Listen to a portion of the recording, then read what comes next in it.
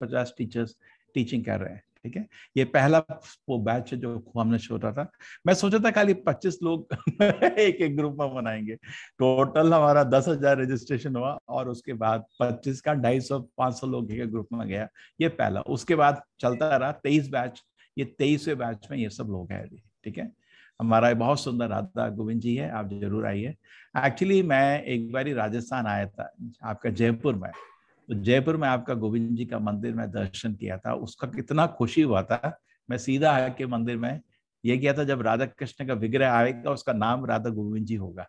तो जैसे ही हमको राधा कृष्ण का विग्रह किसी ने दिया, हमने उनका नाम राधा गोविंद जी रखा, आपका राजस्थान के वजह से। ठीक है, उस मंदिर में हमने देखा, कृष्ण भक्ति बहुत अच्छा है। गीता शास्त्रम इदम पुण्यम। गीता को जो शास्त्र है, शुभ ही शुभ है। यह पतेद प्रहत पुमान जो भी इस गीता का अध्ययन करता है, विष्णु पदम अवाप होती वैकुंठ धाम को प्राप्त होता है, जहाँ पे ना भय होता है, ना शोक होता है। देखिए क्या है, हम ये तो नहीं बोल रहे आपको आप खाना नहीं खाइए, आप ऑफ़िस से जाइए। हम तो ये पढ़े कि जो आप बैठ के टाइम टीवी देखते हैं, जो टाइम बैठ के आईपीएल मैच देखते हैं, उसके जगह गीता पढ़ लीजिए। उसका श्रुति फल इतना श्रुति फल लेगी कस गीता का अध्ययन करने से ही पथेत प्रहत अपमान आपको वैकुंठ धाम प्राप्त हो जाएगा। फ़ायदा ही फ़ायदा है ना, कुछ नुकसान नहीं है है ना? समय तो हम लोग बहुत व्यर्थ करते हैं। आपने उसमें से हर दिन एक घंटा लगा ला अब इस चीज़ को कंटिन्यू रखना। आपने देखिए अठारह दिन, कुछ ना हो आपने एक घंटा निकाल दिया, गीता सुनने के ये जो आपने अच्छा हैबिट अभी बनाया है इसको नहीं रोकना। हर दिन कुछ गीता पढ़ा, हमारी तरफ़ से भी आपके भी बहुत सारे प्रोग्राम बनने वाले उसमें अटेंड करते रहिए। हमारा मैंगलोर में भी अभी क्या कहते हैं हमको जन्माष्टमी के टाइम आप सबको इनवाइट करेंगे, आना बहुत बड़ा प्रोग्राम कर रहे हैं। मैंगलोर में, हमारा मंदिर। आई थिंक नवंबर में हम लोग जगन्नाथपुरी मिलकर साथ जाएँगे, ठीक है? अहो, बतो सो बच्चे बेगरियान या जीवाग्रे वर्तते नाम तुभ्य तेपस तपस जय सुष्मार्या ब्रह्मानुचूर नाम गृणत ये थे अरे, ये आदमी कितना भाग्यशाली है, इसके मुख में कृष्ण का नाम आ गया है। जीव अग्रे वर्तते जीव अग्र मतलब जीव के आगे भाग में वर्तते मतलब बैठ गया। क्या बैठ गया? नाम तुभ्यम, आपका नाम। तो भगवान ने कितना भाग्यशाली है। तो आप दो चीज़ कर रहे हैं अभी, आप भगवत गीता पढ़ रहे हैं, दूसरी चीज़ क्या कर रहे हैं साथ साथ आप हरिनाम का जाप कर रहे हैं। ये दोनों चीज़ बहुत ही बहुत ही शुभ है।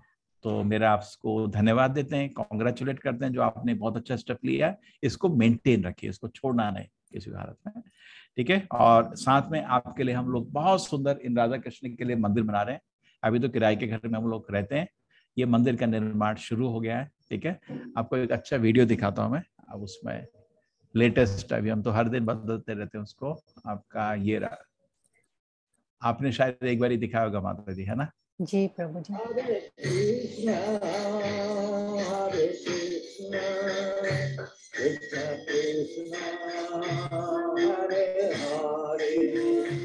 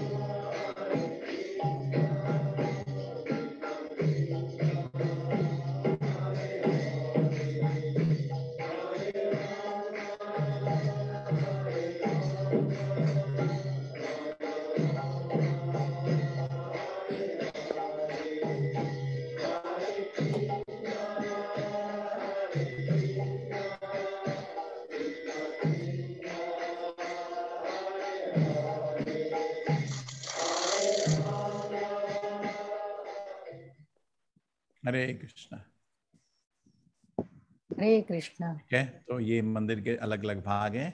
यहाँ पे यहाँ राधा कृष्ण का मंदिर रहेगा एक दो मंदिर है और गौर नेताएँ शीशी गौर नेताएँ।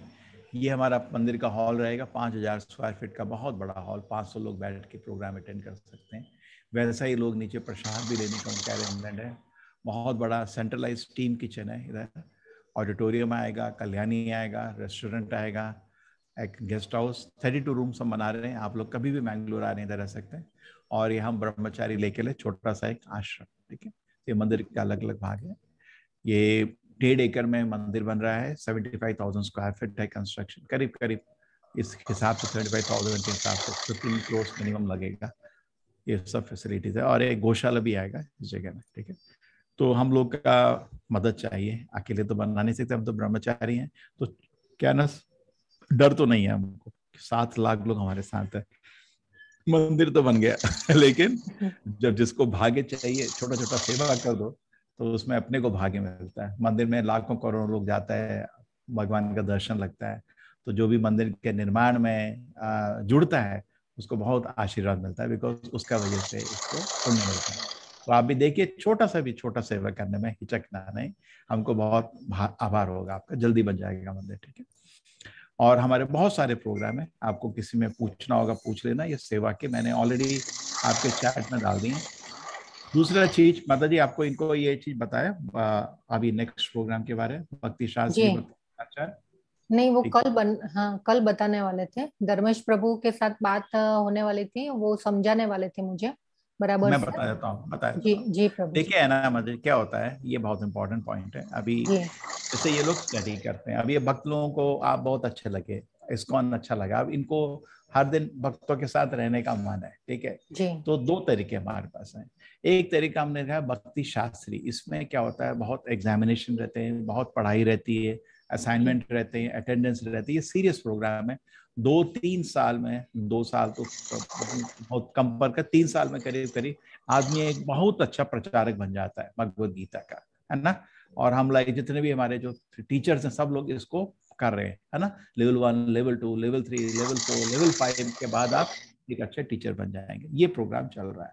दूसरा प्रोग्राम इसमें आपको दीक्षा भी मिलता है। इवन मंदिर में इस्कॉन में आप जाके पूजा करना चाहते हैं भगवान का उसके लिए भी आपको ये दीक्षा का फ़ायदा दूसरा प्रोग्राम लेवल टू का, उसको बोलते हैं भक्ति सदाचार। सदाचार मतलब अच्छे भक्त बनना है। इसमें भी जैसे आप मंदिर जाते हैं, भजन रहता है, कीर्तन रहता है, प्रवचन रहता है अटेंडेंस नहीं होगा एग्ज़ाम नहीं होगा असाइनमेंट नहीं होगा। तो कुछ लोगों को ये अच्छा लगता है, कुछ लोगों को ये अच्छा लगता है, इनके ऊपर है है ना? क्योंकि हो सकता है हम बहुत बिज़ी हैं ऑफ़िस में हैं। कुछ लोग को मुश्किल होता है, ये गुजराती को, हिंदी को टाइप करने में प्रॉब्लम होता है मोबाइल में क्वेश्चन आंसर है ना? तो वो सदाचार में जा सकते हैं। तो इसके ऊपर छोड़ देना। आप इनको वो लिंक दे के पाँच मिनट के लिए क्लास में दे देना भाई। आप जिसको रजिस्टर करना है कर लो। एक दो बार ही ऐसा करना तो उसमें आपको खुशी होगा कि सब लोग आपका रजिस्टर होगा उस्मान के साथ रहेगा। ठीक है? जी प्रभु जी। ठीक है? माता जी अभी तो टाइम है आपके पास। सत्रह में भी अठारह में भी। लिंक ऑलरेडी आ गया एडल्ट ग्रुप में है ना?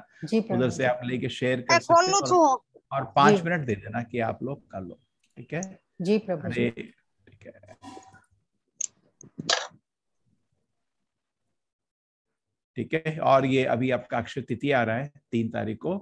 वो बहुत ही शुभ देना दान देने के लिए तो हमारे मंदिर को याद रखना हमको आपके दान की ज़रूरत है। ये जल्दी से मंदिर खत्म करना हरे कृष्णा अब हो गया। किसी को कुछ प्रश्न है? Yes Krishna. Any prashna, Krishna. any question, any clarification? जी किसी को कुछ पूछना है तो पूछ सकते हैं प्रभु जी को। कुछ मंदिर के बारे में कुछ किसी के लिए भी कुछ क्वेश्चन है तो। ऐसे शुद्ध भक्तों का हमको संग मिलना बहुत ये प्रभावशाली रहता है। थैंक यू प्रभु जी आप आए क्लास में हमको दर्शन दिया। हम भाग्यशाली है कि आपके दर्शन हुए हमको। बहुत अच्छा लगा हरे प्रभु कृष्ण। जी हरे सब कृष्ण लोग जप करिए हरे कृष्णा हरे कृष्णा जी प्रभु जी हरे हरे कृष्णा कृष्णा। थैंक यू माता जी हरे कृष्णा हाँ, हरे कृष्ण प्रभु जी हरे कृष्णा જી ખૂબ સરસ અ, આપણને આવા આના જે નામાનિષ્ઠા પ્રભુ છે એ ઇન્ફોસિસની વર્ક એમનું પોતાનું છોડી અને આ ફિલ્ડમાં આવ્યા છે અને સેવા આપી રહ્યા છે. આવા શુદ્ધ ભક્તોનો સંગ મળવો અને દર્શન થવા એ પણ આપણે જો ભાગ્યશાળી ને ભગવાનની કૃપા હોય તો આ વસ્તુ થઈ શકે. તો ખૂબ સરસ એમને આપણને સમજાવ્યું. તો અક્ષય તૃતીયા પણ આવે છે અને બહુ સારો દિવસ છે. તો આપણે ભગવાનને જો સત્વગુણમાં આપેલું જે દાન ભગવાને પણ આપણને સમજાવ્યું કે સત્વગુણમાં કૃષ્ણ ભાવના મૃતમાં જો આપણે દાન કરીએ છીએ તો એ પણ સત્વગુણમાં કહેવાય છે. તો આ રીતે આપણે જરૂર વિચાર કરવો જોઈએ કરવા માટે. તો આજે આપણે આપણી માળા પણ થઈ ગઈ છે. કોઈને કંઈ ક્વેશ્ચન હોય તો પૂછી શકે છે નહીં તો પછી આપણે મીટિંગને એન્ડ કરીએ.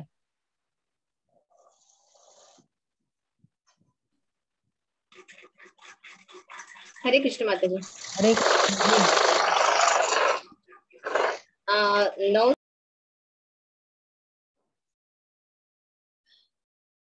શ્રીલા પ્રભુપાદ કી જય ભગવદ્ ગીતા કી જય સદગુરુદેવ કી જય નમ ઓમ વિષ્ણુપદાય કૃષ્ણ પૃષ્ઠાય ભૂતલે શ્રીમદે ભક્તિ વેદાંત સ્વામી ઇતિ નામિને नमस्ते सारस्वते देवे गौरवाणी प्रचारिणे निर्विशेषा शून्यवादी पाश्चात्य देशतारिणे श्री जय श्री कृष्ण चैतन्य प्रभो नित्यानन्दा श्री अद्वैता गदाधर श्रीवासादि गौर भक्तवृन्दा हरे कृष्णा हरे कृष्णा कृष्ण कृष्ण हरे हरे हरे रामा हरे रामा राम राम हरे हरे हरे कृष्णा हरे कृष्णा કૃષ્ણ કૃષ્ણ, હરે હરે હરે રામા હરે રામા, રામ રામા, હરે હરે હરે કૃષ્ણ હરે કૃષ્ણ કૃષ્ણ કૃષ્ણ, હરે હરે હરે રામા હરે રામા રામ રામ, હરે હરે. જય નિતાઈ ગોરંગ, જય નિતાઈ ગોરંગ, જય નિતાઈ ગોરંગ, જય નિતાઈ ગોરંગ. જય રાધા કૃષ્ણ ચંદ્ર, રાધા કૃષ્ણ ચંદ્ર, રાધે. જય રાધા કૃષ્ણ ચંદ્ર, રાધા કૃષ્ણ ચંદ્ર, રાધે. જય શ્રી રાધે ગોવિંદા. રાધે ગોવિંદા રાધે ગોવિંદા જય શ્રી રાધે ગોવિંદા જય શ્રી રાધે ગોવિંદા રાધે ગોવિંદા રાધે ગોવિંદા જય શ્રી રાધે ગોવિંદા જય શ્રીલા પ્રભુપાદ પ્રભુપાદ પ્રભુપાદ જય શ્રીલા પ્રભુપાદ જય શ્રીલા પ્રભુપાદ પ્રભુપાદ પ્રભુપાદ. જય શ્રીલા પ્રભુપાદ. હરે કૃષ્ણ બધાને. હરે કૃષ્ણ. હરે કૃષ્ણ. તો ધીરે ધીરે બધા જોઈન થઈ રહ્યા છે. આપણે ચાર વાગ્યા છે. આપણે મંગલાચરણ હરે કૃષ્ણ. હરે કૃષ્ણ માતાજી. આપણે સ્ટાર્ટ કરીએ મંગલાચરણથી. આજનો ખૂબ સરસ અધ્યાય સોળ નો આપણે કાલે અડધો પાઠ જોયેલો. હવે આજે આગળ જોઈએ આપણે ભગવાન શું કહે છે. આપણે મંગલાચરણથી સ્ટાર્ટ કરીએ. નાખીએ છીએ દર વખતે. મંગલાચરણથી સ્ટાર્ટ નો, કરીએ મંગલાલતાને વધાવીએ. હરે કૃષ્ણ પ્લીઝ મ્યુટ રાખજો. શ્રી શ્રી રાધા ગોવિંદા મેંગલુરુ ઇસ્કોન પરિવાર તરફથી તમારા બધાનું હાર્દિક સ્વાગત કરું છું. આજે અધ્યાય સોળમાં પણ તમે જે પણ દ્રઢ અને નિશ્ચયતાથી તમે જે જોડાઈ રહ્યા છો એના બદલ તમારા બધાનો ખૂબ ખૂબ આભાર. હરે કૃષ્ણ. શ્રીલા પ્રભુપાદ કી જય. ઓમ અજ્ઞાન ॐ अज्ञानतिमिरान्धस्य શલાકયા चक्षुरुन्मिलितं येन तस्मै श्रीगुरवे नमः શ્રી ચૈતન્ય મનોભિષ્ટમ સ્થાપિતમ યેન ભૂતલે સ્વયં રૂપ કદામય્યમ દદાતિ સ્વપદાંતિકમ વંદેહમ શ્રી ગુરો શ્રીયુતપદકમલમ શ્રી ગુરુન વૈષ્ણવાંશ્ચ શ્રી રૂપમ સાગ્રજાતમ સહગણ રઘુનાથાન્વિતમ તમ સજીવમ સાદ્વૈતમ સાવધૂતમ પરિજન સહિતમ કૃષ્ણ ચૈતન્ય દેવમ શ્રી રાધા કૃષ્ણ પાદાન સહગણ લલિતા શ્રી વિશાખાન્વિતાંશ્ચ હે કૃષ્ણ કરુણા સિંધો દીનબંધો જગતપતે ગોપેશ ગોપિકા કાંત રાધા કાંત નમોસ્તુતે તપ્ત કાંચન ગૌરાંગી રાધે વૃંદાવનેશ્વરી વૃષભાનુસુતે દેવી પ્રણમામી હરિપ્રિયે વાંછા કલ્પતરુભ્યશ્ચ કૃપા સિંધુભ્ય એવ ચ પતિતાનામ પાવનેભ્યો વૈષ્ણવેભ્યો નમો નમઃ શ્રી કૃષ્ણ ચૈતન્ય પ્રભુ નિત્યાનંદ શ્રી અદ્વૈત ગદાધર શ્રીવાસાદિ ઘોર ભક્ત વૃંદ હરે કૃષ્ણ હરે કૃષ્ણ કૃષ્ણ કૃષ્ણ હરે હરે હરે રામ હરે રામ રામ રામ હરે હરે હરે કૃષ્ણ બધાને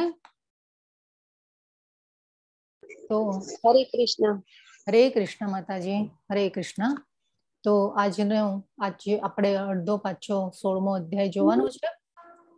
તો આ હવે આપણે જોઈએ કે શું કહે છે ભગવાન આગળ. આપણે એક થી ત્રણ શ્લોકમાં કાલે ભગવાને આપણને દૈવી ગુણોનું દર્શન કરાવેલું કે દૈવી ગુણો સાથે જન્મેલા મનુષ્ય કેવા હોય અને કઈ રીતે જાણી શકાય. તો ભગવાને આપણને એ દૈવી ગુણોનું આપણને આ આપણે બધું જોયેલું. તો બાજુમાં જે ચિત્ર છે એમાં જો કેટલા ભક્તો જે છે એ મંદિરની સફાઈ કરી રહ્યા છે.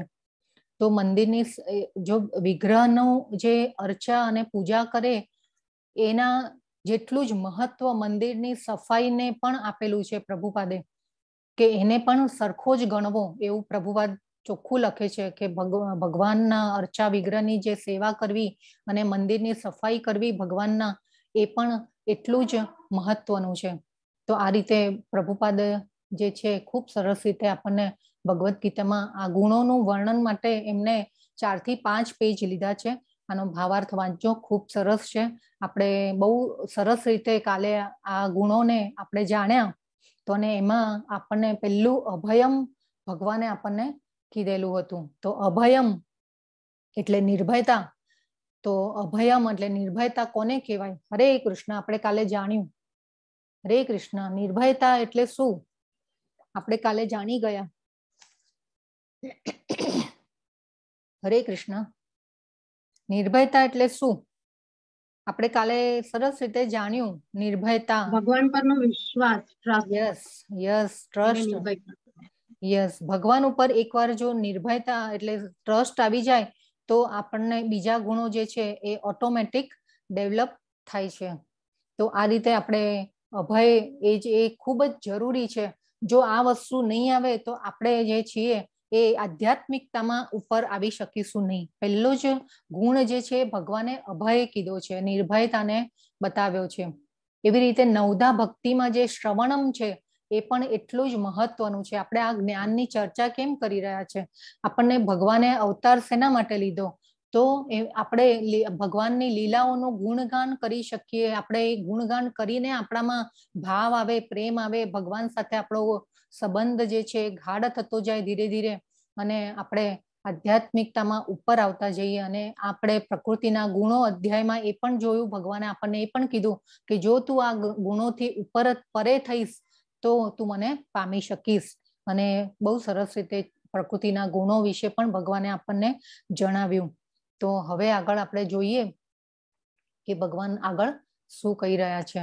તો ભગવાને એક થી ત્રણ શ્લોકમાં આપણને જણાવ્યું, હવે ભગવાને દૈવી ગુણો જણાવ્યા એક થી ત્રણ શ્લોકમાં. હવે ભગવાન ચોથા શ્લોકમાં આપણને કહી રહ્યા છે, રાક્ષસી વૃત્તિ, રાક્ષસી પ્રકૃતિ એટલે આસુરી પ્રકૃતિના ગુણો વિશે આપણને ભગવાન જણાવી રહ્યા છે. તો આ આસુરી ગુણોમાં કયા કયા આવે? તો શ્લોક છે, દંભો દર્પોભિમાનશ્ચ ક્રોધ પારુષ્યમેવ ચ અજ્ઞાનમ ચાભિજાતસ્ય પાર્થ સંપદમાં આસુરીમ. હે પાર્થ, દંભ દર્પ, અભિમાન, ક્રોધ, કઠોરતા તથા અજ્ઞાન આ આસુરી પ્રકૃતિ વાળા માણસોના ગુણો છે એવું ભગવાન કહી રહ્યા છે. તો ભગવાનને પહેલો કીધો દંભો એટલે દંભ, દેખાડો. આપણે જે દંભ કહીએ, દંભ તો આપણે લગભગ બધાને ખબર હશે, દંભ શબ્દ. તો દંભ કેમ? તો એકચ્યુઅલી આ કળિયુગનો સમય જ એવો છે કે બતાવવા માટે કરવાનું. તો આ આપણે એક એ ભગવાને અવગુણ કીધો છે આસુરી વૃત્તિ કીધી છે એને. તો આપણે અને સૌથી મોટામાં મોટો દંભ જેને કહેવાય ને, તો ધાર્મિકતાનું પ્રદર્શન કરવું કે ભાઈ હું ધાર્મિક છું, એને એ મોટામાં મોટો દંભ છે. તો આ હું ધાર્મિક છું એવું બતાવવું અથવા તો એ દેખાડો કરવો એ પણ સૌથી મોટો દંભ છે. આપણે ભગવાનની ભક્તિ ગમે તેટલી કરીએ ગમે તેટલો આપણા ભાવ હશે ભગવાનમાં, પણ જો એનો દેખાડો કરતા રહીશું, તો એ પણ અવગુણ કીધો છે. તો એ ન કરવું જોઈએ. તો આપણે એકચ્યુઅલી આપણે જે અત્યારે સમાજનો જે ઢાંચો એવો થઈ ગયો છે કે આપણે એ ગાડરિયા પ્રવાહમાં ખેંચાતા હોઈએ છીએ ઘણીવાર. અને આપણને એમ થાય કે- ભાઈ કોઈ કેવું કહેશે આપણને, કે કોઈ કેવું ગણશે મને? એવી રીતે વિચારીને આપણે એ રીતે ગાડરિયા પ્રવાહમાં ખેંચાતા હોઈએ છીએ, પણ એ ન ખેંચાવવું જોઈએ. તો આ રીતે ધાર્મિક છું એવો દંભ કરવો એ પણ એક અવગુણ છે. તો ભગવાને આસુરી વૃત્તિ દંભ ને આસુરી વૃત્તિ, કોઈ પણ કામ હોય એમાં દંભ ન કરવો જોઈએ. અને આસુરી વૃત્તિના અહીંયા ગુણો છે, અહીંયા ભગવાન લખેલું છે, ભગવાનમાં કોઈ શ્રદ્ધા નથી. ભગવાન ઇવન શાસ્ત્રોના ઉપર ઇવન ભગવાનની ઉપર પણ શંકા, શ્રદ્ધા, સંશય ન કરવો જોઈએ. અને જો આ સંશય કરીશું તો જે શંકાઓ જે છે એ રાક્ષસ જેવી છે.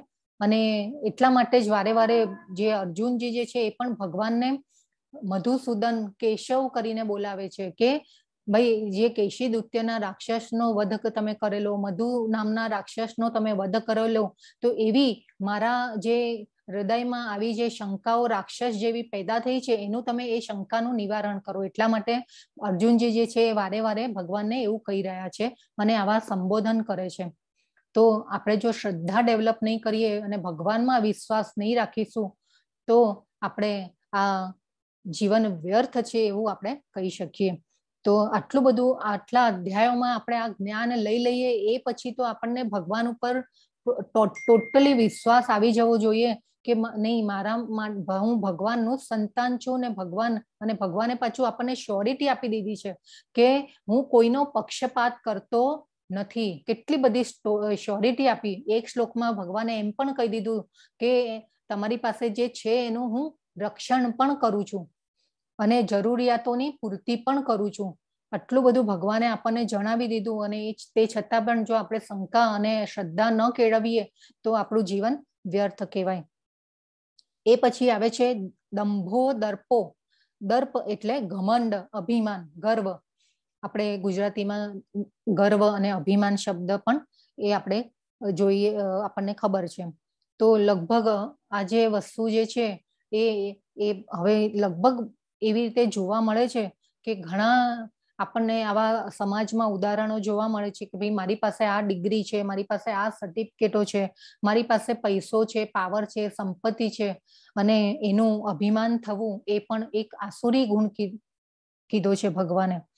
તો અત્યારે આને એટીટ્યુડ કહેવામાં આવે છે, પણ એટીટ્યુડ ના હોવો જોઈએ. એ એકચ્યુઅલી અત્યારે એવી રીતે શીખવાડવામાં આવે છે કે એટીટ્યુડ તો હોવો જ જોઈએ. પણ આ ભગવાને આ બધા ગુણોને આસુરી ગુણ કીધા છે. તો આપણે જોઈએ કે ભાઈ રાવણ જે હતા એ પણ આસુરી ગુણવાળા હતા અને હતા શિવજીના ભક્ત હતા અને એટલા બધા જ્ઞાની હતા, પણ તે છતાં પણ પતન થયું. અને ભગવાનની સહચરી એવા સીતા માતાને ઉપાડી જવાની હિંમત કરી અને અને એ જ કુળમાં પાછા એમના ભાઈ જે વિભીષણ જે છે એ રામની, એટલે ધર્મની સાઈડ ગયા, તો જુઓ એ પછી કેવું રાજ્ય મળે છે. તો આ રીતે કોઈ પણ આસુરી વૃત્તિનો હંમેશા નાશ થાય છે અને ભગવાને પણ કહી દીધું કે ધર્મનું જ્યારે જ્યારે પણ પતન થાય છે ત્યારે ભગવાન યુગે યુગે આવે છે. તો એ પછી આપણે હિરણ્ય કશ્યપીનો પણ ઉદાહરણ જોયું કે હિરણ્ય કશ્યપુ આપણે અમરત્વ એને જોઈતું હતું કે આ આ જે રાજ્ય છે, સમ્રાટપણું જે છે એ મને જન્મો જન્મ ભોગવવા મળે. તો અને એ બધું પાછું અભિમાન ન થવું જોઈએ. આ બધી વસ્તુઓના અભિમાન એટલે આપણી પાસે કંઈ પણ છે, આપણી પાસે જ્ઞાન છે, સંપત્તિ છે, ધન છે, વૈભવ છે, તો આપણામાં અભિમાન ન થવું જોઈએ. એ આ બધું ભગવાને કીધું કે હું જ આપું છું. અને ભગવાનનું જ છે, ભગવાનની માલિકીનું છે. આપણે એ પણ જાણી ગયા કે આ જગતમાં આપણને રહેવાની જગ્યા આપી છે ભગવાને. અને એ પછી પણ જો આપણે આ અભિમાનને કેળવીએ તો એ પણ આસુરી ગુણ છે એવું ભગવાન અહીંયા કહી રહ્યા છે. એ પછી આવે ક્રોધ. દંભો દર્પો ભીમાનશ્ચ અભિમાન અને ક્રોધ. ક્રોધ પારુષ્યમેવ છે ક્રોધ. તો ક્રોધ આપણે, ક્રોધ તો ખૂબ જ તમો ગુણનું પ્રાધાન્ય કરે છે ક્રોધ. અને ક્રોધમાં આવી અને આપણે ઘણીવાર રોંગ ડિસિઝન લઈ લેતા હોઈએ છીએ અને ક્રોધથી પણ ઘણા રોગો પણ ઉત્પન્ન થાય છે એસિડિટી છે કે જેવા જેવા, એટલે વગેરે વગેરે. આપણને હવે આ બધું તો ખ્યાલ આવી ગયો છે કે આ જે બધા માનસિક રોગો જે આપણા બધા અત્યારે જે રોગનું પ્રમાણ વધી રહ્યું છે એ શેના કારણે કે આપણી ઈચ્છાઓની તૃપ્તિ કરવામાં આપણે એટલા બધા આગળ એ આપણે એટલા બધા લાઈફ લાઈફસ્ટાઈલને મેન્ટેન રાખવામાં આપણે આ બધું અને પછી ઈચ્છાઓ પૂરી ન થાય એટલે આપણને ક્રોધ આવે અને એ ક્રોધમાં થઈ અને એ પછી આપણને મોહ ઉત્પન્ન થાય અને મોહ ઉત્પન્ન થાય અને એ પછી ધીરે ધીરે આપણી ઈચ્છાઓ પૂરી ન થાય, આપણું ધાર્યું ન થાય, આપણી અપેક્ષાઓ પૂરી ન થાય એટલે આપણને ક્રોધ આવે. અને એમાંથી આપણે રોગના નું ઘર આપણા શરીરને બનાવીએ છીએ.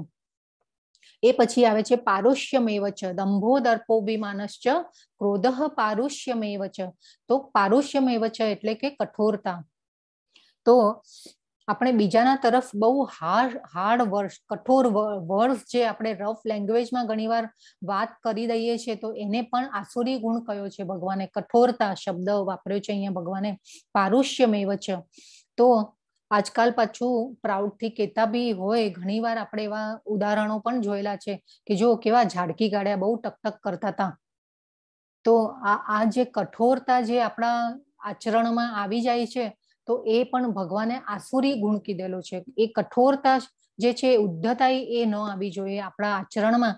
તો આ ભગવાને જો પાંચ હજાર વર્ષ પહેલા ભગવાનને ખબર હતી કે હવે મારો અહીંયાથી જવાનો યુદ્ધ પૂરું થયું અને અહીંયાથી પછી જવાનો નો ટાઈમ આવી ગયો, ભગવાનને ખબર હતી અને કાળક્રમે આ પરંપરા, આ જે જ્ઞાનની પરંપરા તૂટી ગઈ હતી અને ભગવાનને ખબર હતી કે આગળ સમય કેવો આવવાનો છે. તો ભગવાને ભગવદ્ ગીતાનો આ જે યોગ ભગવાન સાથે કેવી રીતે જોડાવો અને આ બધું જે જ્ઞાન આપીને ભગવાન આપણા માટે ગયા છે. ભગવાન અર્જુન અર્જુન તો નિમિત્ત માત્ર છે. આ બધું જ્ઞાન ભગવાને કોના માટે આપ્યું છે? આપણા માટે આપ્યું છે. અને હજી આવનારી પેઢીઓ તો હજી પણ લેશે. તો આ કેવું જ્ઞાન છે? શાસ્ત્રોનો રાજા કીધો છે ભગવદ્ ગીતાને. તો કેટલું બધું જ્ઞાન આમાં ભરીને પડ્યું છે. આપણે ગીતા જેમ જેમ વાંચીશું ને એક વાર વાંચીશું, બીજી વાર, ત્રીજી વાર, ચોથી વાર, આપણને કંઈક ને કંઈક અંદરથી એવા બધા અંદરથી મળશે આપણને કે તમે બિલીવ નહીં કરી શકો. એટલું બધું જ્ઞાન ભરેલું છે. તો આ રીતે એક છે અજ્ઞાન, એ પછી આવે છે અજ્ઞાન. દંભો દર્પો વિમાનશ્ચ ક્રોધ પારુષ્યમેવ ચ અજ્ઞાનમ ચાભિજાતસ્ય પાર્થ સંપદ માસુરીમ તો અજ્ઞાન, તો અજ્ઞાન જે છે એ બધા પાપનું મૂળ છે. તો અજ્ઞાન એટલે શું? તો આપણને શું, આપણે શું કરવું જોઈએ? કેવી રીતે રહેવું જોઈએ? કેવી રીતે શું ન કરવું જોઈએ? શું કરવું જોઈએ? એ ખબર ન હોય એને અજ્ઞાન કહેવાય. પણ ભગવાનને અત્યાર સુધીના અધ્યાયમાં આટલું બધું કહી દીધું અને પછી જો આપણે ન સમજીએ તો એ આપણું અજ્ઞાન છે. ભગવાને ઘણું બધું જ્ઞાન આપ્યું ને ઘણા બધા શ્લોકો દ્વારા આપણને ઘણું બધું કહી દીધું. અને આપણને જો ન સમજાય, હજી આપણે ધીરે ધીરે આ બધું ઓબ્ઝર્વ કરતા રહેવાનું છે, તો આપણને હવે તો એકચ્યુઅલી થોડુંક તો જ્ઞાન આવી જ જાય કે આપણે કઈ રીતે આચરણ કરવાનું છે અને આ ગીતાને કેવી રીતે આપણે અને મેઇન તો અજ્ઞાન કયું છે કે આપણે શાસ્ત્રોનું પાલન નથી કરતા, શાસ્ત્રોના નિયમોનું, પ્રકૃતિના કાયદાનું જે કાયદા જે છે એનું, એના નિયમોનું આપણે ભંગ કરીએ છીએ, એનું ઉલ્લંઘન કરીએ છીએ, એ આપણું અજ્ઞાન છે. તો પૂર્ણ જ્ઞાની માણસો ખૂબ ઓછા જોવા મળે છે. અને આપણને કોઈ, અને આગળ પણ આપણે જોઈ ગયા કે આપણે ભક્તોનો સંગ કરવાનો, આપણે એવા સારા માણસોનો સંગ કરવાનો કે જેનાથી આપણું જીવન જે છે એ આધ્યાત્મિકતામાં આગળ આવે. તો આવા જ્ઞાની માણસો એકચ્યુઅલી ખૂબ ઓછા જોવા મળે છે. પણ જો આપણે આવો કોઈ સંગ ન મળે તો આપણે પ્રભુપાદના પુસ્તકોનો સંગ કરવાનો અને એક એક ભગવાનના આજે એક એક શબ્દ ભગવાને શ્લોકો કીધા છે ને, એમાં એક એક શબ્દ, એકે એક પેરેગ્રાફમાંથી આપણને અજ્ઞાનમાંથી આવવાનો રસ્તો મળે છે. તો આ રીતે આપણને એકચ્યુઅલી આપણે ઘણીવાર એ ઇગ્નોર કરતા હોઈએ છીએ અને આપણને એમ ઘણીવાર એમ પણ થાય કે જેટલી ખબર ઓછી પડે ને એટલું સારું કે આપણે કંઈ કરવાનું ન આવે. એવું પણ ઘણીવાર આપણે વિચારતા હોઈએ છીએ પણ એ આપણું ભૂલ છે. આપણે આ અજ્ઞાનમાંથી આપણે બહાર આવવાનું છે અને આપણે, આપણને ખબર છે કે ડગલે ને પગલે આ ભૌતિક જગત છે, ભગવાને દુઃખાલય અને ક્ષણ ભંગુર કહી દીધું છે. એટલે ડગલે ને પગલે ખાડા જ છે, ઉબડ ખાબડ જ છે એ આપણને હવે ખબર છે. તો આપણે આ અજ્ઞાનમાંથી આપણે બહાર આવવાનું છે. અને બીજો એક મિથ્યા અહંકાર જે છે આપણો એમાંથી પણ બહાર આવવાનું છે. તો આ રીતે આ બધા જે ભગવાને કીધા કે આ બધા જે આસુરી ગુણો જે છે, તો એ અભિજાતસ્ય એટલે કે આવા જન્મેલા મનુષ્યમાં આસુરી ગુણો વાળો હોય અને એ પછી દેવી ગુણોનું પણ સમજાવ્યું હતું આગળ આપણને એક થી ત્રણ શ્લોકમાં.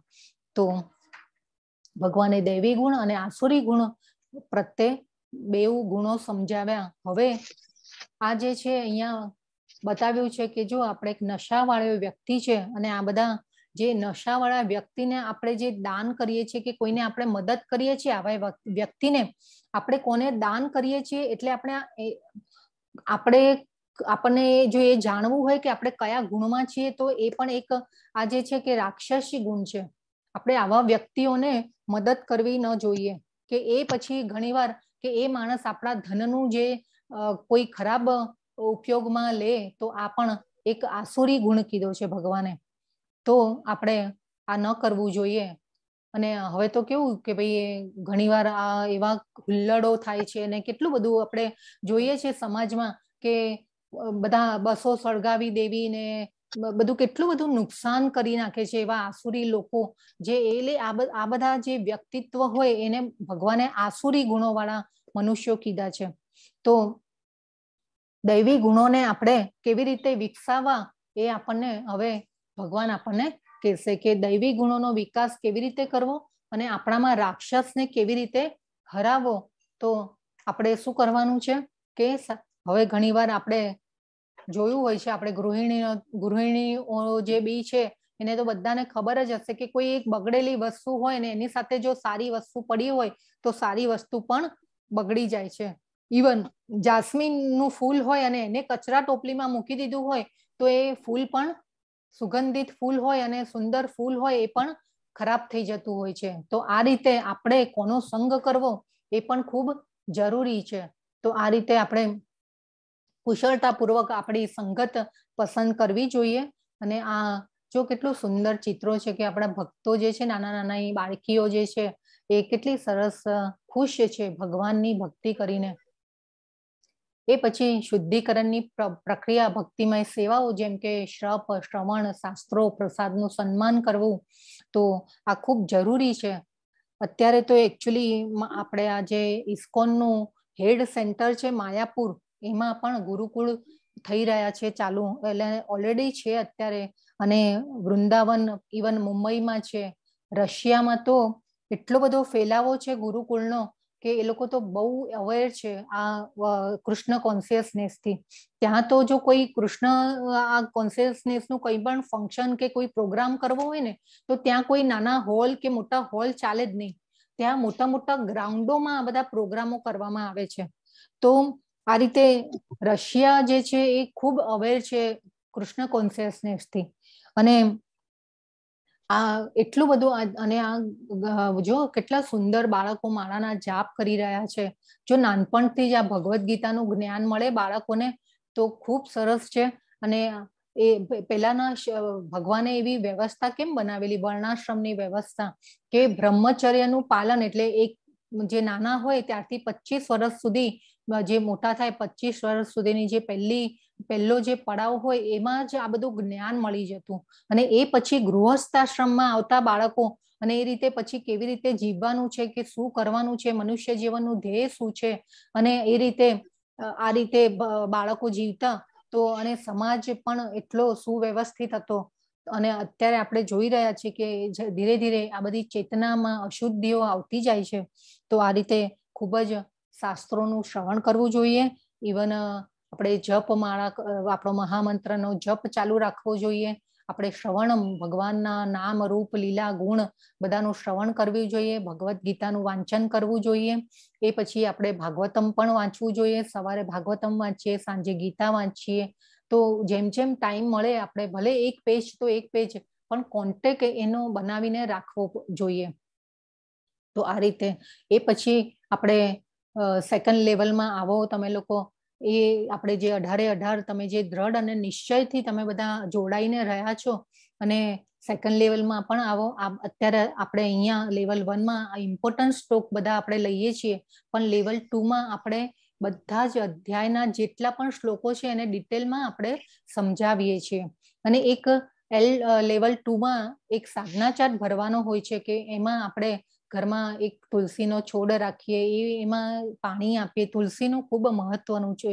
તુલસીજીનું મહા મહાત્મય પણ ખૂબ છે. તુલસીજી ભગવાનની પ્રિય છે અને એ રીતે સાધના ચાટમાં પણ આપણે તુલસીને પાણી રેડ્યું કે નહીં, આપણે તુલસીને મંત્ર બોલીને આપણે વંદન કર્યા કે નહીં, એ બધું આપણે સાધના ચાટમાં લખવાનું હોય છે. આપણે ઇવન પંદર મિનિટ પણ જો ભગવદ્ ગીતાનું વાંચન કર્યું હોય તો એ પણ લખવાનું હોય. એમાં કોઈ ફોર્સ એવો હોતો નથી, પણ એક એક માળાનું કમિટમેન્ટ લેવામાં આવે છે કે આપણે રોજ એક ભગવત આ જે મહામંત્રની એક જપમાળા કરશું, એ આપણે એક કમિટમેન્ટ લેવામાં આવતું હોય છે. તો લેવલ ટુ પણ ખૂબ સરસ છે, અને અઢાર અધ્યાયની ક્વિઝ ભરશો તમે, તો એ પછી લેવલ ટુ નું ફોર્મ ખુલશે. અને લેવલ ટુ પણ લગભગ આ બેચ પૂરી થશે, પછી અઠવાડિયા દસ દિવસમાં ચાલુ થાય, થતું હોય છે. તો આ રીતે સેકન્ડ લેવલમાં પણ આવો. આ અઢાર અધ્યાય પૂરા થઈ જાય, એ પછી જપમાળા ચાલુ રાખો. જેને વધારે ટાઈમ હોય તો જપમાળા વધારે કરો. વધારતા જાઓ. તમે ફીલ કરશો એ વસ્તુને કે જપમાળા કરવાનો કેટલો ફાયદો છે. આપણો જે ઇન્ટરનલ પાવર હોય છે એ વધે છે. અને આપણા આપણે એમ ઘણીવાર આપણે જોઈએ છીએ કે આપણા જે મનમાં ઉદ્વેગ રહેતો હોય, આપણે જે સ્ટ્રેસ, એન્ઝાયટી રહેતી હોય, એ બધાનું પણ નિવારણ થતું હોય છે. ક્યાંય કોઈ મેડિટેશન માટે કે ધ્યાન માટે બહાર જવાની જરૂર નથી. આપણે આ જો બેસીને ભગવાનનું નામ અને ગુણ જે આપણે મહામંત્રનું કીર્તન કરશું, તો ધીરે ધીરે આ બધા જે ભગવાને દૈવી ગુણો જે કીધા એ બધા ડેવલપ થતા હોય છે. તો આ રીતે ખૂબ સરસ છે મહામંત્રના જપ ચાલુ રાખવા જોઈએ અને આ રીતે આપણે આગળ વધવું જોઈએ. તો પાંચમા શ્લોકમાં ભગવાન કહે છે કે દૈવી સંપદ વિમોક્ષાય નિબંધાયા સુરીમતા મા શુચઃ સંપદમ દૈવીમ અભિજાતો સી પાંડવ દિવ્ય ગુણો મોક્ષને માટે અનુકૂળ છે અને આસુરી ગુણ બંધન આપવા માટે છે। હે પાંડુ પુત્ર તું ચિંતા કરીશ નહીં કારણ કે તું દૈવી ગુણો સાથે જ જન્મ્યો છે। હવે ભગવાને અર્જુનજીને તો કહી દીધું, કેટલા બધા સર્ટિફિકેટ આપી દીધા કે તું ઈર્ષા નથી કરતો, તું મારો ભક્ત છે, મિત્ર છે. ઇવન આ દૈવી ગુણો સાથે જન્મ્યો છે. કેટલા બધા સર્ટિફિકેટ ભગવાને તો અર્જુનજીને આપ્યા છે. તો ગીતા કોના માટે છે? આપણને એમ થાય કે અર્જુનજીને તો ભગવાને આટલા બધા સર્ટિફિકેટ ને સાબિતી આપી દીધી. તો પછી ગીતા કોના માટે? આપણા માટે આવી છે ગીતા. આપણા માટે આપણા જે ભગવાનને ખબર હતી કે હવે હું અહીંયાથી જવાનું છું ને પછી કળિયુગ ચાલુ થવાનો છે. તો આ રીતે ભગવાને આપણા બધા માટે થઈ અને ગીતાનું જ્ઞાન આપ્યું છે અર્જુનજીને. તો ખૂબ સરસ ભગવાને કહી દીધું, દિવ્ય ગુણો મોક્ષને માટે અનુકૂળ છે અને આસુરી ગુણો જે છે એ બંધન આપવા માટે હોય છે. તો ભક્તિ જીવન ક્યારે શરૂ કરવું પડે? પ્રહલાદ મહારાજે જન્મ પહેલા જ શરૂઆત કરી હતી અને ધ્રુવ મહારાજે પાંચ વર્ષની શરૂઆત કરી પાંચ વર્ષથી શરૂઆત કરી હતી. હવે આપણને એમ થાય કે ભાઈ આપણે અત્યારે તો જાગ્યા ત્યારથી સવાર આપણને જ્યારથી આ ગીતાનું જ્ઞાન મળ્યું ત્યારથી આપણે કરીએ. પણ ઘણીવાર આપણને એવું આપણે જ્યારે ભક્તિમાં આગળ વધતા હોય ને ત્યારે આપણને કહેવા વાળા ઘણા મળે કે ભાઈ આ બધું તો બુઢાપાનું કામ છે. માળા તો બુઢાપામાં કરવાની. આપણને એમ થાય કે ભાઈ હજી થોડું મોટા થઈએ, એ પછી થોડું કમાઈ લઈએ, થોડો પછી ભોગો ભોગવી લઈએ, એ પછી આપણને ઘડપણ આવશે, ત્યારે આપણે કરીશું. તો, અને આ બધું જે વિચાર આપણા જે છે, એ પણ આપણી ભૂલ છે. આપણે નાનપણથી જ આ ભક્તિની શરૂઆત નાનપણથી કરવી જોઈએ. ઇવન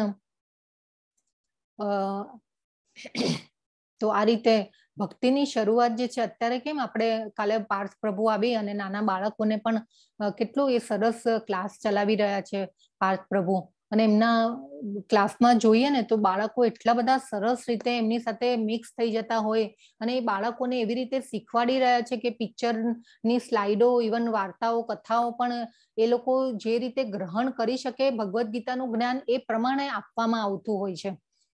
એટલા માટે આપણે, જો હવે તો મે વેકેશન આવે છે, તો આપણે બાળકોને પણ જોડાવાનું કહીએ અને આ જ્ઞાન આપણે આપીએ બાળકોને પણ. તો આ રીતે ખૂબ સરસ ભગવદ્ ગીતાનું જ્ઞાન જો નાનપણથી જ બાળકોને મળે, તો ખૂબ સારું છે. અને ઘણીવાર આપણે જોઈએ છીએ કે આપણા ઘરના આપણા બાળકો જ્યારે જન્મ લેતા હોય ને, એ પછી થોડા જ વખતમાં મોઢે કડકડાટ ગીતા બોલતા હોય છે. ઘણીવાર એવા બાળકોને પણ આપણે જોયેલા છે. અત્યારે તો વોટ્સઅપ પર પણ એવા વીડિયો આવી રહેલા છે કે નાના નાના બાળકો પણ ખૂબ સરસ ગીતાના શ્લોકો બોલતા હોય. તો આ બધું કેવી રીતે થતું હોય? આપણને એમ થાય કે આટલું નાનું બાળક છે ને બોલે છે કેવી રીતે? પણ આ બધું જે છે પૂર્વ જન્મનું ભાથું બાંધીને આવતા હોય છે. તો આવા બાળકો જો હોય ને ઘરમાં આપણા, તો એને એવી અનુકૂળતા કરી આપવાની કે એ ભક્તિ કરી શકે. તો આ રીતે ઘણીવાર આપણે જોઈએ છે કે ભાઈ ઘણા બાળકો એવા રોડ ઉપર જન્મતા હોય છે, ઘણા બાળકોને ઘણી તકલીફો જન્મતા વેંત જ હોય છે. તો આ બધું કેવી રીતે થાય છે? તો આ બધું કર્મના અનુસાર અનુસાર જે છે કે એ રીતે આપણે નવા શરીરો મળતા હોય છે અને આ રીતે ભાથું બંધાઈને આવતું હોય છે. તો આપણે ભક્તિની શરૂઆત જે છે નાનપણથી જ કરવી જોઈએ. આપણને જ્યારે પણ તક મળે ત્યારે આપણે ભક્તિ અને ભગવાનને સેન્ટરમાં રાખવા જોઈએ.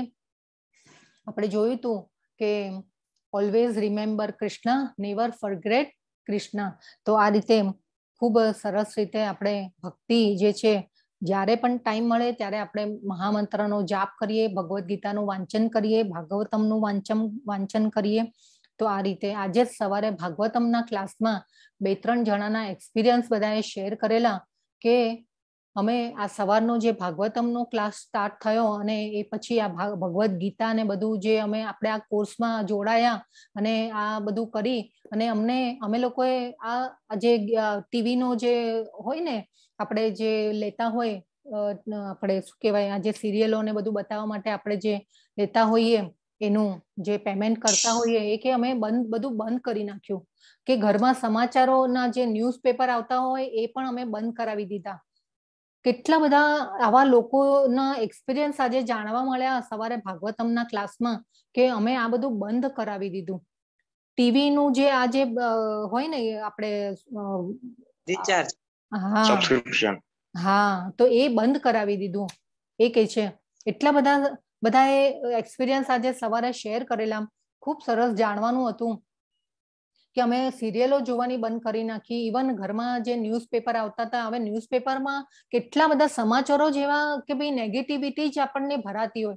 અને ઘણા તો લોકો એવા હોય કે ન્યૂઝપેપર વચ્ચે વગર ઉઠતા ન હોય. આમ ઉઠે એટલે પહેલા ન્યૂઝપેપર હાથમાં જોઈએ. એટલે એવા એડિક્ટ એડિક્શન વાળા પણ લોકો હતા. એ લોકો બી બધા કહેતા હતા કે અમે ન્યૂઝપેપર પણ બંધ કરાવી દીધા. એટલે જુઓ આ કોર્સથી કેટલા જીવનમાં ફેરફારો આવ્યા છે બધાના, તો આજે ખૂબ સરસ ભાગવતમ નો ભાગવતમના ક્લાસ પછી આવી રીતે બધા એક્સપિરિયન્સ બધાના શેર કરતા હોય છે. ખૂબ સરસ રીતે બધાના જાણવા મળ્યું કે બધાએ આટલું બધું ચેન્જ આવ્યો આવ્યો આ બધા ક્લાસથી અને આ ભાગવતમનો સવારે જે ક્લાસ થયો કે હવે તો એમ કે ન હોય ને જ્યારે રવિવારે નથી હોતો ક્લાસ, તો બધાને એમ થાય કે ખાલીપો લાગે છે કે ભાઈ રવિવારે ક્લાસ કેમ નથી હોતો? તો આ રીતે તો હવે આપણે આગળ જોઈએ તો ભક્તિની શરૂઆત જે છે, આપણે નાનપણથી જ બાળકોને પણ એવો કરાવ, કરી આપીએ અનુકૂળતા અને એ રીતે આપણે ભક્તિ જ્યારે પણ ટાઈમ મળે ત્યારે કરવી જોઈએ. ભક્તિનો, ભક્તિ કરવાનો કોઈ એવો ટાઈમ નથી હોતો. ભલે બપોરે સવારે આપણને ટાઈમ ન હોય કે ભાઈ સવારે બધાનું અનુકૂળતા ન હોય કે ભાઈ બધાને જવાનું હોય, નોકરીમાં, ઓફિસે જવાનું હોય આ છે તે છે, ગૃહિણીઓ પણ બિઝી હોય, તો જ્યારે પણ ટાઈમ મળે ત્યારે તમે કરો, જપમાળા, મહામંત્ર કરો. તો આ બધું ખૂબ જરૂરી છે. એ બધી, એ બધું આપણે કરીશું. ભક્તિ સેવા તો આપણી જે ચેતના છે એ શુદ્ધ થાય છે. એ પછી આવે છે સાતમો શ્લોક છે, પ્રવૃત્તિમ ચ નિવૃત્તિમ ચ જના ન વિદુરા સુરાહ ન શૌચમ નાપી ચાચારો ન સત્યમ તેષુ વિદ્યતે. જે લોકો આસુરી હોય છે તેઓ જાણતા નથી કે શું કરવું જોઈએ અને શું ન કરવું જોઈએ. તેઓમાં નથી પવિત્રતા, નથી ઉચિત આચરણ કે નથી સત્ય જોવા મળતું. તો આજે બાજુમાં ચિત્ર છે આઈ થિંક હિટલર નો જયારે જમાનો હતો, ત્યારનું ચિત્ર છે, હિટલર કેવો આસુરી વૃત્તિનો હતો, બધાને લગભગ સ્ટોરી ખબર જ હશે. તો આવા જે આસુરી લોકો હોય છે, એઓ જાણતા નથી કે શું કરવું જોઈએ અને શું ન કરવું જોઈએ. અને પવિત્રતા અને ઉચિત આચરણ એ અને સત્ય જોવા મળતું નથી આસુરી લોકોમાં, એવું ભગવાન અહીંયા કહી રહ્યા છે. હવે ભગવાન કે છે, અસત્યમ પ્રતિષ્ઠમ તે જગદાહુરનીશ્વરમ અપરસ્પર સંભૂતમ કિમન્યત કામ હૈતુકમ. તેઓ કહે છે કે આ જગત મિથ્યા છે તેનો કોઈ આધાર નથી અને તેનું નિયમન કોઈ ઈશ્વર દ્વારા નથી થતું. તેમનું કહેવું છે કે તે કામેચ્છાથી ઉત્પન્ન થયેલું છે અને કામ સિવાય તેનું બીજું કોઈ કારણ નથી. હવે અહીંયા ભગવાન શું કે છે કે આસુરી લોકો જે હોય છે એ આવું વિચારતા હોય છે. એટલે ભગવાન જો ભગવાન ત્યારે પણ કહી રહ્યા હતા તો આપણે જોઈએ કે અત્યારે પણ આવું માનવા વાળા લોકો છે કે અત્યારે પણ આપણે એવા નાસ્તિક લોકો જોયેલા છે કે જે એ એક એવો વર્ગ છે કે જેઓ માનતા નથી કે ભગવાન છે. ભગવાન જેવું કંઈ છે. એટલે એવું પણ અત્યારે પણ વર્ગ છે અને એ ભગવાને ત્યારે પણ કીધું એટલે ત્યારે પણ એવા લોકો હતા અને ભગવાનના વિરોધીઓ ત્યારે પણ હતા. એટલે આ ભગવાન અત્યારે પણ કહી રહ્યા છે કે આસુરી લોકો જે હોય છે એ આ જગતને મિથ્યા કે છે અને તેનો કોઈ આધાર નથી અને નિયમન કોઈ ઈશ્વર દ્વારા થતું નથી એવું માનતા હોય છે. તો આવું ન માનવા વાળવા લોકો પણ આસુરી પ્રકૃતિના હોય છે એવું ભગવાન અહીંયા કે છે. નવમા શ્લોકમાં ભગવાન કે છે, એતામ દ્રષ્ટિમાં વસ્તવ્ય નષ્ટાત્માનોલ્પબુદ્ધય પ્રભવંત્યુગ્ર કર્માણ ક્ષયાય જગતો હિતા એવો નિષ્કર્ષનું અનુગમન કરીને આસુરી લોકો જેમને આત્મજ્ઞાન ખોઈ દીધું છે અને જેઓ બુદ્ધિહીન છે, એવા બિન ઉપયોગી અને ભયાવહ કાર્યોમાં પ્રવૃત્ત હોય છે જે સંસારનો વિનાશ કરવાને માટે હોય છે. જો આવા આસુરી લોકો આપણે ઘણીવાર ઓલી ચૂંટણીઓ ને બધું હોય છે ને ત્યારે આપણે ઘણીવાર આપણા જોતા હોઈએ છીએ કે એવા સમાજમાં જે તોફાની વર્ગ હોય છે એ બધું ઘણા એવા જે વિનાશ કરવાવાળા લોકો હોય છે કે જે કરતા હોય છે અને સમાજમાં દૂષણ ફેલાવતા હોય છે. અને કેવું કેવું કરતા હોય કે ભાઈ આખી બસો ને બસો સળગાવી દે ને કેટલું બધું આપણે આ બધું જોઈ રહ્યા છીએ અત્યારના સમાજમાં આપણે એવા બધા દ્રશ્યો ભાઈ જોતા હોઈએ છીએ કે આ બધું આ એટલે આ ભગવાન કે છે કે આ બધું આસુરી વૃત્તિ વાળા લોકો જે હોય, તમોગુણી લોકો એ બધું આ કરવામાં હોય છે. હવે ભગવાન કે છે અહંકાર બલમ દર્પમ કામમ ક્રોધમ ચ સંશ્રિતા મામાત્મ પરદેહેશુ પ્રદ્વિષ્યંતોભ્ય સૂયકાહ મિથ્યા અહંકાર, બળ, ઘમંડ, કામ તથા ક્રોધથી મોહિત થઈને આસુરી મનુષ્ય પોતાના શરીરમાં તથા બીજાઓના શરીરોમાં સ્થિત પૂર્ણ પુરુષોત્તમ પરમેશ્વરની ઈર્ષા કરે છે તથા વાસ્તવિક ધર્મની નિંદા કરતા હોય છે. જો હવે ભગવાને શું કીધું અહીંયા પાછું? એક આપણને રેફરન્સ મળ્યો, જે પરમાત્મા તરીકે હૃદયમાં બિરાજે છે ભગવાન, એનો બીજો રેફરન્સ આપણને શ્લોકમાં મળ્યો કે મનુષ્ય પોતાના શરીરમાં તથા બીજાઓના શરીરોમાં સ્થિત પૂર્ણ પુરુષોત્તમ પરમેશ્વરની ઈર્ષા કરે છે તથા વાસ્તવિક ધર્મની નિંદા કરતા હોય છે. જો અહીંયા ભગવાને કહી દીધું, અને મિથ્યા અહંકાર મિથ્યા અહંકાર એટલે શું? રે કૃષ્ણ. મિથ્યા અહંકાર કોને કહેવાય? મિથ્યા અહંકાર બીજા અધ્યાયમાં જ આપણને આત્માનું ખોટો અહંકાર. હરે કૃષ્ણ. મિથ્યા અહંકાર આપણે બીજા અધ્યાયમાં ભગવાને આત્માનું જ્ઞાન આપેલું. તો આપણે મિથ્યા અહંકાર એટલે શું? હરે કૃષ્ણ. આપણો મિથ્યા અહંકાર શું છે? આપણે- હા. Yes yes. બરાબર બોલ્યા માતાજી. ઓકે. પણ એક્ચ્યુઅલી હું આત્મા છું યસ. આપણો એ મિથ્યા અહંકાર છે કે આપણે ભગવાને કીધું કે આપણે આત્મા છીએ શરીર નથી. અને આપણે એવું જાણતા નથી. અને એ આપણો મિથ્યા અહંકાર એટલે આપણું અજ્ઞાન છે એ વસ્તુ. એ પછી ભગવાને કીધું, અહંકારમ બલમ દર્પમ કામમ ક્રોધન ચ સંશયતા અને આ કામ ક્રો- ક્રોધથી મોહિત થઈને આસુરી મનુષ્ય પોતાના શરીરમાં તથા બીજાઓના શરીરમાં સ્થિત પૂર્ણ પુરુષોત્તમ પરમેશ્વરની ઈર્ષા કરે છે તથા વાસ્તવિક ધર્મની નિંદા કરતા હોય છે. એ પછી આપણે બે પંડિતની પણ વ્યાખ્યા જોયેલી કે પંડિત કોને કહેવાય? હરે કૃષ્ણ, પંડિત કોને કહેવાય? એ પણ આપણે બીજા અધ્યાયમાં પણ આવેલું કે પંડિત અશોચ્યનન્વશોચસ્ત્વમ પ્રજ્ઞાવાદાંશ ભાષશે ગતા સુન ગતા શુંશ્ચ એ આપણે શ્લોક જોયેલો પંડિત અને બીજું આપણે પંડિત કોને કહેવાય કે પંડિત આપણે બધાના શરીર એટલે સમાન દ્રષ્ટિથી જોવું જીવ પંડિત જો કોને કહેવાય કે જે જીવિત અને મૃત માટે શોક કરતા નથી એક તો એક એ પોઈન્ટ અને બીજો પોઈન્ટ કે બધાને સમદ્રષ્ટિથી જોવા.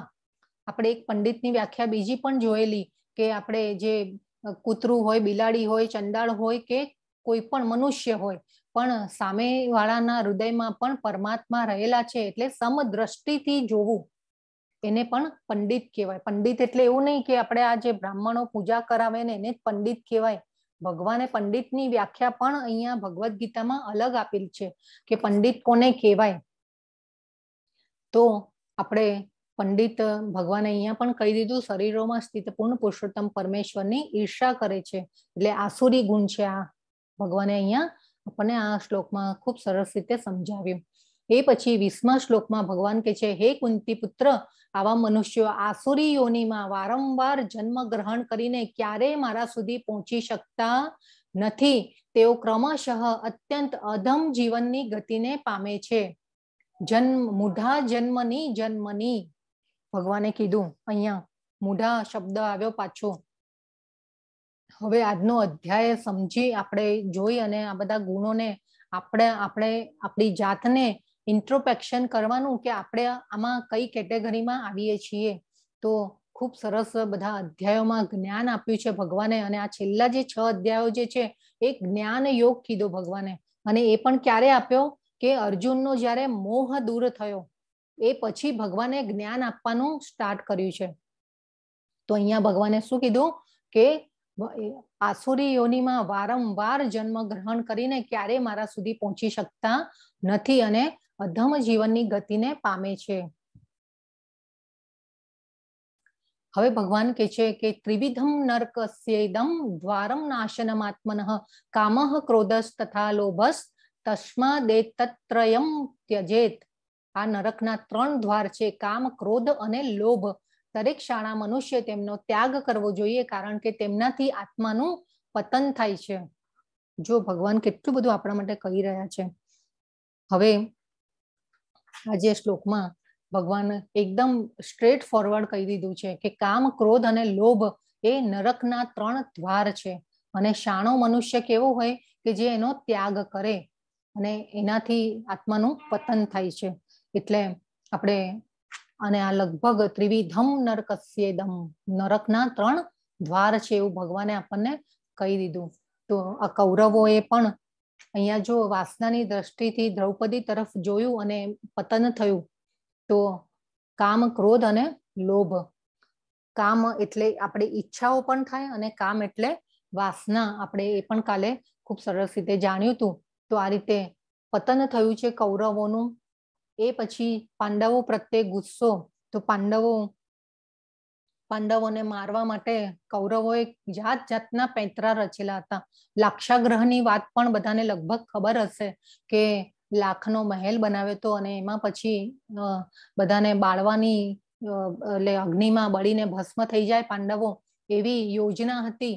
પણ એ પછી વિદુરજીએ પાંડવોને બચાવ્યા છે અને ભીમ અને બધાએ ભેગા થઈ અને પેલું નીચેથી રસ્તો બતાવ, બનાવ્યો ભોયરામાં અને પછી ત્યાંથી નીકળી ગયા છે પાંડવો. તો આ લાક્ષાગ્રહની પણ બધાને વાત ખબર હશે. ઇવન ઘણી બધી એવી કથાઓ છે આપણે આ પુરાણોમાં કે પાંડવોને, કૌરવોએ પાંડવોને મારવા માટે જાત જાતના પેંતરા રચેલા હતા. એટલે પાંડવો પ્રત્યેનો આ જે ગુસ્સો, ક્રોધ એટલે પણ આ જે કૌરવોનું પછી પતન થાય છે.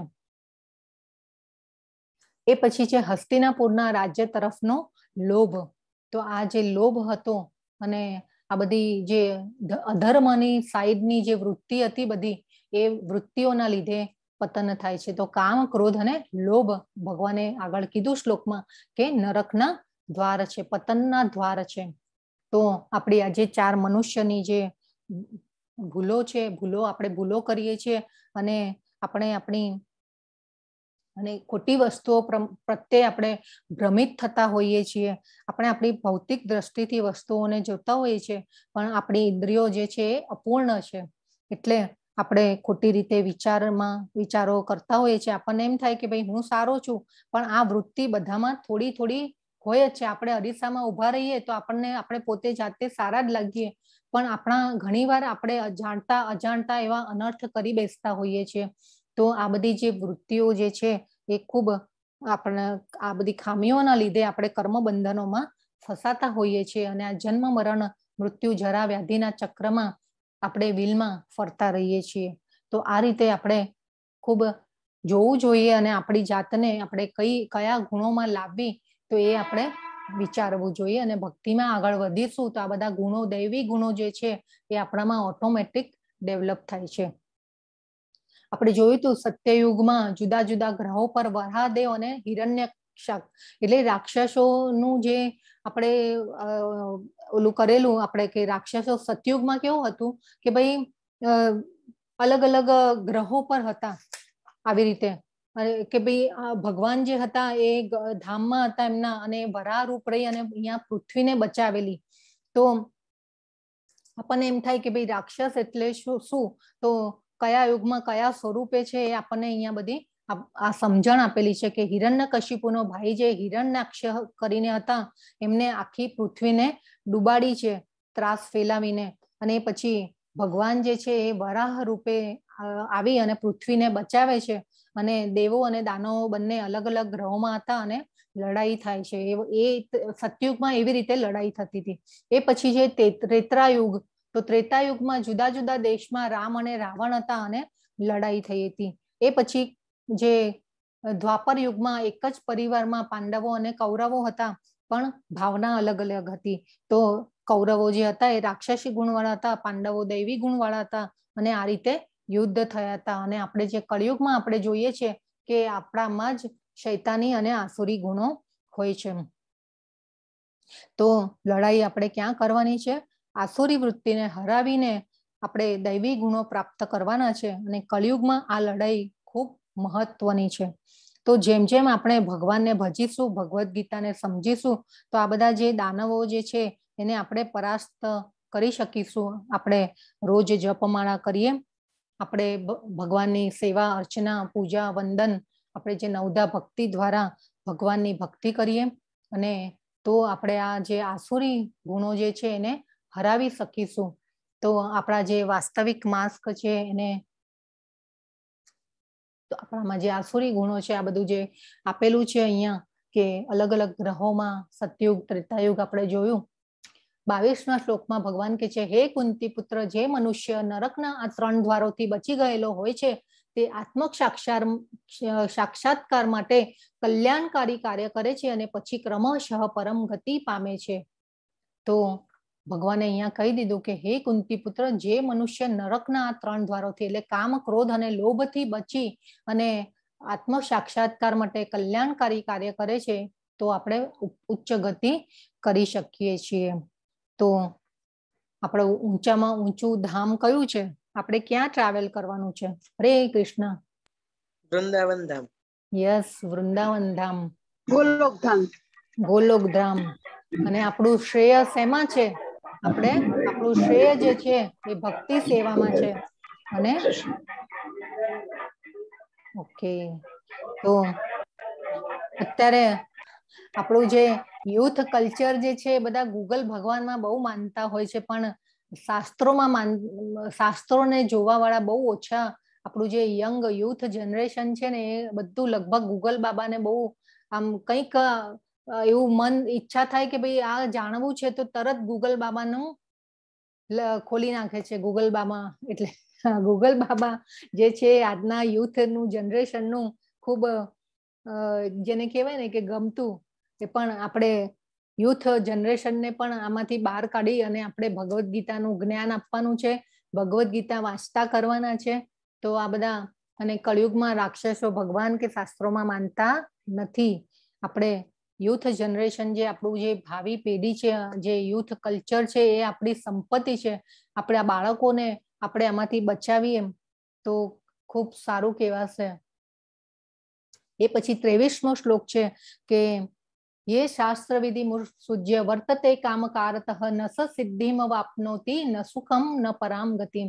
જે મનુષ્ય શાસ્ત્રોના આદેશોની અવહેલના કરે છે અને પોતાની ધૂનમાં આવે તેમ મનસ્વી વર્તન કરે છે તે નથી સિદ્ધિ પામતો, નથી સુખ પામતો કે નથી પરમ ગતિ પામતો. જો ભગવાન હવે ધીરે ધીરે છે ને બધું એકદમ આમ ફાસ્ટ સ્ટ્રેટ ફોરવર્ડ કહેતા જશે ને અઢારમો અધ્યાય તો એવો છે ને કે ભગવાને આટલું જ્ઞાન આપ્યા પછી ફટાફટ ફટાફટ એક શ્લોકમાં સ્ટ્રેટ ફોરવર્ડ બધું આમ એકદમ કહી દીધું છે કે હવે તારે આમાં આમામ કરવાનું છે.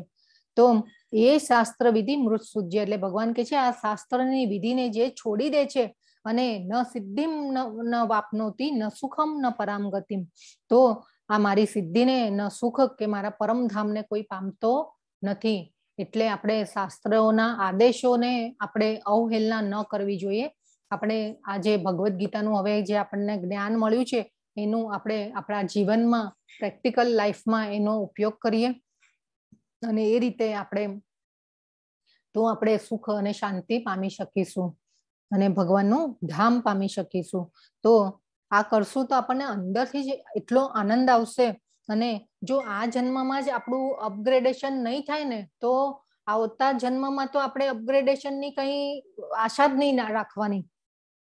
આપણે ઘણી વાર આપણે કેવું કે ભાઈ આપણને સફળતા ક્યારે મળી, મળીએ, મળે? કે આપણે કેટલી સ્ટ્રગલ કરીએ ને ત્યારે પછી સફળતા મળે છે. એક સક્સેસ મળવી તો આપણને કઈ બેઠા બેઠા સક્સેસ મળી નથી જતી. આપણે એના માટે કેટલી મહેનત કરવી પડે છે. તો આપણે ભગવાનનું ધામ પામવું હોય કે આપણે કંઈ પણ વસ્તુ કરવી હોય તો આ એક સ્ટ્રગલ જે છે, ભક્તિની સ્ટ્રગલ આપણે કરવી પડશે. તો આપણને ભગવાનનું ધામ મળશે. તો સફળતા મળે ત્યારે આ સ્ટ્રગલ જરૂરી છે. તો આપણે એ સ્ટ્રગલ કરવાની છે અને કેટલો સહેલો રસ્તો પાછું એ સ્ટ્રગલ માટે બી આપણને ભગવાને કેટલો સહેલો રસ્તો બતાવ્યો છે કે પત્રમ પુષ્પમ ફલમ તોયમ. એટલું ચાર વસ્તુ બી તમે મારી પાસે મૂકશો તો બી હું તો ખુશ છું. પણ આપણે એવું નહીં વિચારવાનું, આપણને ભગવાને જેટલી શક્તિ, સામર્થ્ય આપેલું હોય એ પ્રમાણે આપણે ભગવાનને રાખવાના. તો આ રીતે આપણે જોઈએ તો ખૂબ સરસ બધા શ્લોકોમાં આપણને ભગવાને સરસ સમજાવી દીધું છે. ચોવીસમો શ્લોક કે છે, તે મનુષ્યોએ શાસ્ત્રોના નિયમો પરથી સમજવું જોઈએ કે શું કર્તવ્ય છે અને શું કર્તવ્ય નથી. આવા નિયમો અને નિયંત્રણો જાણીને મનુષ્યોએ એવી રીતે કર્મ કરવું જોઈએ કે જેથી ક્રમે ક્રમે ઉન્નતિ પામી શકે. આ બાજુમાં ફોટો છે કોનો છે? હરે કૃષ્ણ. બાજુમાં ફોટો છે કોનો દે, કોણ છે? હરે કૃષ્ણ. કોણ કહેશે? કૃષ્ણ સુનામા હા કૃષ્ણ સુદામા. નહીં કૃષ્ણ તો છે. યસ કૃષ્ણ છે. પણ એમની સાથે કોણ છે? બલરામ. યસ અને કયા ગુરુ પાસે ભણી રહ્યા છે? કૃષ્ણ ભગવાનના ગુરુ કોણ હતા? સાંદીપની સાંદીપની ઋષિ. યસ ખૂબ સરસ. સાંદીપની ઋષિ. હા ખૂબ સરસ. બધા જવાબો સાચા ખૂબ સરસ. તો ભગવાન જે છે એમને જો આપણે પણ જ્ઞાન લેવું હોય તો આપણે ગુરુકુળમાં જવું પડે. આપણે કોઈ ગુરુ કરવા પડે તો આપણને સાચી ડિરેક્શનમાં આપણે જઈએ. આપણી જીવનની આપણને દિશા મળે. ભગવાને આ દાખલો બેસાડ્યો છે. નહીં તો ભગવાનને શું જરૂર હતી જ્ઞાનની? ભગવાને તો એમના હૃદય દ્વારા બ્રહ્માજીને જ્ઞાન આપી દીધું છે. ભગવાનને શેના માટે જરૂર હતી. પણ ભગવાને આ ઉદાહરણ રૂપ પૂરું પાડ્યું છે. કે પેલું કહેવાય ને, યદ્યદાચરતી શ્રેષ્ઠ. તત્ત દેવે તરો જનાહા. ભગવાને કીધું કે હું જેવું આચરણ કરીશ, એવું મારી પાછળ આવનારી પેઢીઓ આચરણ કરશે. એટલે ભગવાને પોતે ઉદાહરણ રૂપ બન્યા છે અહીંયા ગુરુકુળમાં જઈને. જ્ઞાન લીધું છે ભગવાને. એટલે આ ભગવાન તો પૂર્ણ પુરુષોત્તમ હતા અને છતાં પણ ગુરુ પાસે જાય છે. તસ્માત શાસ્ત્રામ પ્રમાણમ તે શાસ્ત્રોના નિયમો પ્રમાણે સમજવાનું ભગવદ્ ગીતાને કેમ લીધી આપણે? તો આપણે આ ગુરુ પરંપરા દ્વારા આપણને આ જ્ઞાન મળ્યું છે અને આપણને, આપણે પ્રોપર જ્ઞાન, મૂળભૂત ચેનલ દ્વારા આપણે આ જ્ઞાનને લઈ રહ્યા છીએ અને એ ભગવાને આ ઉદાહરણ પૂરું પાડ્યું છે. કાર્યા કાર્યો વ્યવસ્થિત કર્તવ્ય શું છે ને કર્તવ્ય શું નથી? તો આપણે આ જાણીએ તો શું થાય? આપણી ક્રમે ક્રમે ઉન્નતિ થતી જાય. ભગવાન કેમ ગુરુ પાસે ગયા? રામ ભગવાન પણ ગુરુ પાસે ગયેલા. તો ભગવાન પોતે પ્રમાણિત કરે છે, દાખલારૂપ બન્યા છે. અને શાસ્ત્રોના વિધિ વિધાનોનું પાલન કરવું જોઈએ અને ગુરુ કરવા જોઈએ.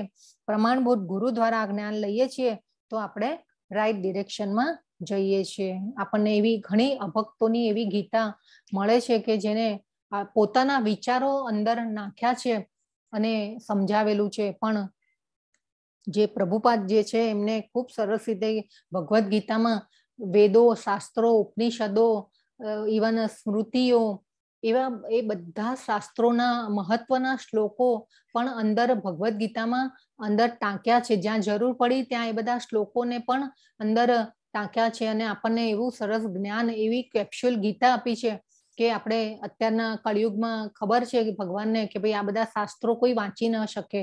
એટલું સતયુગમાં તો ત્યારે લાંબુ આયુષ્ય હતું, વાતાવરણ એટલું શુદ્ધ હતું એટલે લોકો એ કરી શકતા હતા. આપણને આપણે એટલા બધા શાસ્ત્રો અને વેદોનું અધ્યયન કરી શકવાના નથી. એટલે ભગવાને આપણા માટે ભગવદ્ ગીતા આપીને ગયા. અને આવા આચાર્યોએ આપણને સરળતા કરી આપી, આટલી સરસ કેપ્સ્યુલ ગીતા આપીને. તો આ રીતે આપણે જરૂર વાંચવી જોઈએ.